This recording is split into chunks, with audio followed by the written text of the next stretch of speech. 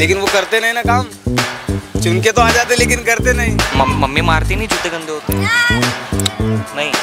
तो ये प्रॉब्लम्स आपने अपने जनप्रतिनिधि के सामने नहीं रखे थे जो भी कॉरपोरेटर यहाँ के हैं? रखते वो सब रखते मगर बड़े बड़े वादा करते हैं आने के बाद में सब भाग जाते। विधानसभा चुनाव सफ़र का एक नया चैप्टर एक नया एपिसोड एक नया इलाका। हम लोग आप पहुँचे हैं औरंगाबाद। पिछले एपिसोड्स नहीं देखे हैं तो जाइए चैनल पे और देखिए। जनता से बात करेंगे और उनके विचार जानने की कोशिश करेंगे। वो मुद्दे भी जिन पर चुनाव होना चाहिए और उनके जहन में कोई व्यक्ति कोई पार्टी विशेष अगर मौजूद है तो उसके पीछे क्या कारण है ये सारी बातें।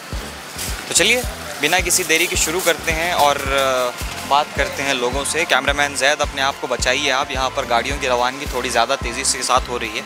आप सर आपका क्या नाम? है मेरा नाम पाशु।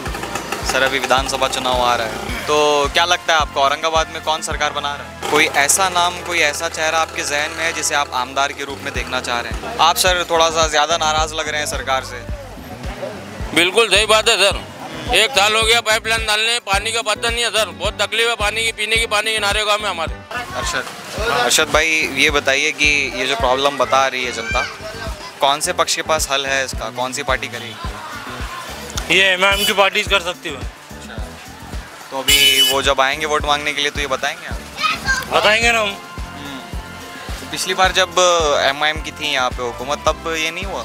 नहीं दूसरी तरफ़ से- के बहुत रोड बनाए उन्होंने इंडिया जलील साहब ने बहुत बहुत रोड बनाए उन्होंने ये गलियों के नीचे पूरे पूरे गलियों के रोड बनाए उन्होंने अब इसका कैसा है इधर आतिन का मान आना है। इधर से जाएँगा पट्टा इधर से जाएँगा उसके वजह से रुके जा रहा है। मतलब घर टूटने वाले। हैं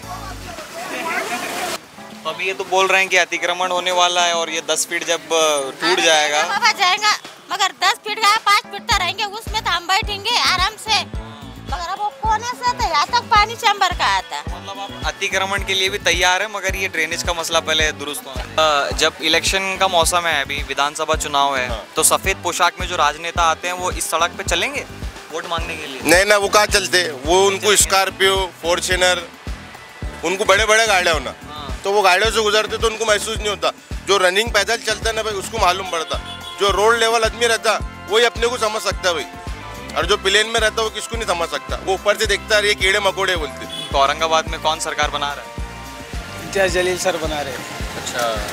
तो कोई खास वजह उनको सपोर्ट करने की? अच्छे अच्छे नेता है एम आई एम इम्तियाज़ जलील। अच्छा। अगर वो यहाँ से चुनाव लड़े तो? तो फिर ठीक है क्लियर है। ये रहे। हाँ। तो कोई खास वजह है एम को सपोर्ट करने? एम आई एम ने जितने जो है आज भी जो भी बॉर्डर दिखते हैं ये रोड का पूरा जो बने वाला है तो ये इम्तियाज़ जलील साहब के ही उसमें बने वाला है। नेता तो सब अच्छे थे। जितने भी खड़े रहे उतने सब अच्छे हैं। लेकिन मेन क्या है पब्लिक सिटी का जो काम है पब्लिक का वो तो काम होने को ना जैसे कि टेनिस लेन है रोड है। किसको वोट देना कोई समझ में नहीं आ रहा। भाई कोई आया नहीं इधर। सावे साहब तो दस साल हो गए अभी तक चक्कर भी नहीं मारे उन्होंने। हाँ एमएलए जो है तो अभी तक। अ, ये थे जनता के विचार जो अभी आपने सुने लोगों में नाराज़गी है गुस्सा है कई सारी चीज़ों को लेकर चाहे वो धर्म की राजनीति को लेकर के हो या फिर ज़मीनी सतह पर कामों का ना होना ये भी एक बहुत बड़ी वजह है। ड्रेनेज है सड़क है और पीने का पानी है जिसकी बहुत ज़्यादा दिक्कतें यहाँ पर लोग झेल रहे हैं। कई सारे अलग अलग नाम हैं अब अलग अलग राजनीतिक पार्टियों की तरफ़ से जब नामों की घोषणा होगी तो तब शायद कुछ लोग नतीजे पर पहुँचेंगे। मगर यहाँ नारेगांव में तो माहौल फ़िलहाल ऐसा ही है कि ज़्यादातर लोग नाराज़ हैं, गुस्से में हैं और एक गुस्सा जो है वो चेहरे पे और उनके जुमलों में देखा जा सकता है। अब इस पर आपके क्या विचार है? नीचे कमेंट सेक्शन में कमेंट करके हमें ज़रूर बताएँ और इस वीडियो को ज़्यादा से ज़्यादा शेयर कीजिए और फॉलो और सब्सक्राइब कर लीजिए हमारे चैनल को और ऐसी खबरों के लिए बने रहिए हमारे चैनल टेक इन डाइजेस्ट के साथ।